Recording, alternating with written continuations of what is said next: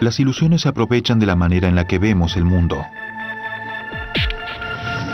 Dependen de la diferencia que existe entre lo que los ojos ven y lo que el cerebro comprende. Los magos siempre han hecho uso de esta sutil confusión.